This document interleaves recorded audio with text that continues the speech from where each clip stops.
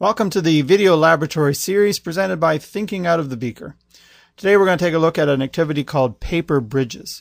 In paper bridges we're going to build four bridge structures using index cards and we're going to change some design element in each one of those bridges to see what effect that has on the ability of the bridge to withstand a load. Let's just take a quick look at the materials and, and the type of bridges that you're going to build uh, with this little video clip.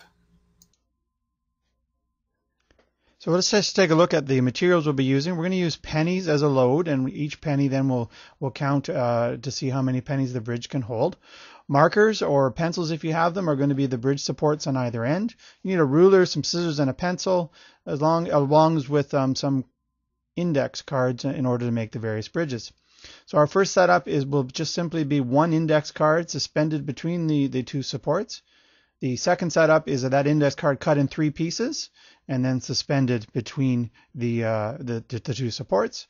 The third uh, setup will be that same three pieces, but we'll glue them together to laminate them into a beam, and that'll be put in between the supports. And then finally, we'll take one index card and we'll fold it into a beam shape and uh, suspend that between the two bridge supports. Now that you've had a chance to, to see what materials we're going to use and, and how we're going to build each one of the bridges, uh, we want you to, to try and answer this question then. How do design changes affect a load bearing structure? Now remember, you have four choices. You have the single card uh, suspended between the two markers. You have that same card cut into three pieces and then stacked on top of one another. You can have those three pieces then glued together and laminated into a beam. And the final choice is a single card, but it's been folded into a channel shape.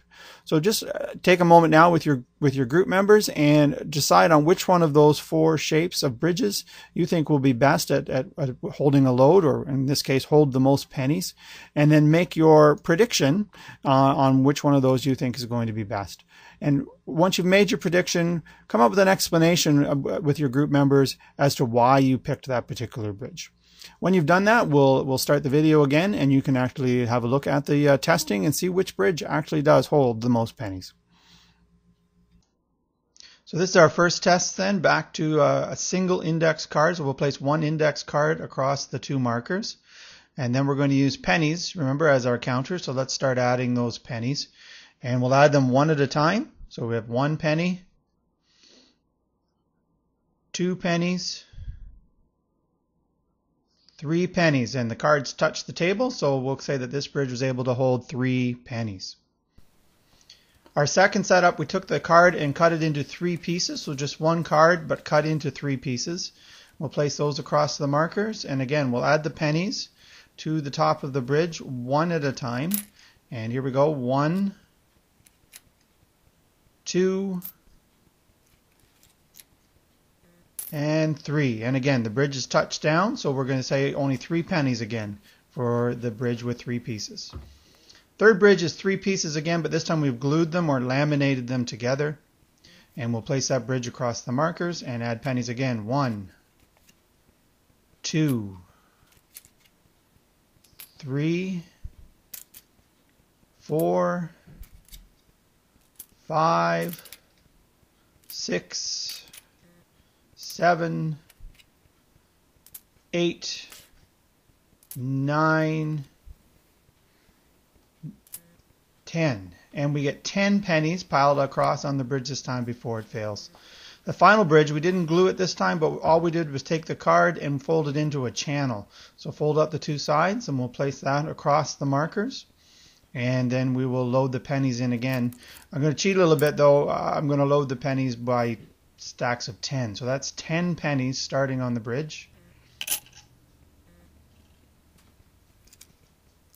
And we'll add another stack of 10. So that's 20.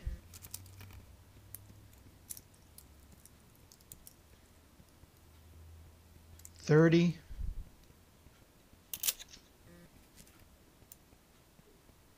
Forty.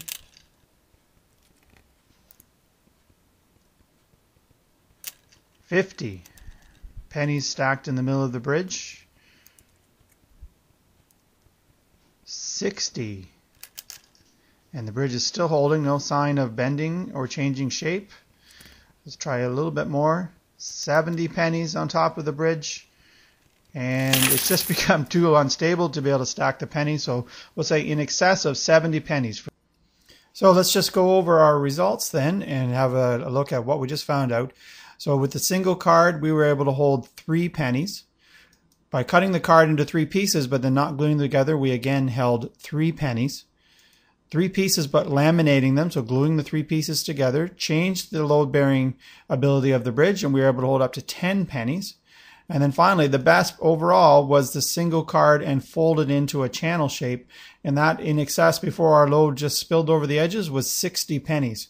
So you can see very clearly that changes in the way that we arrange those materials do provide uh, a greater ability for that bridge to hold on to a load.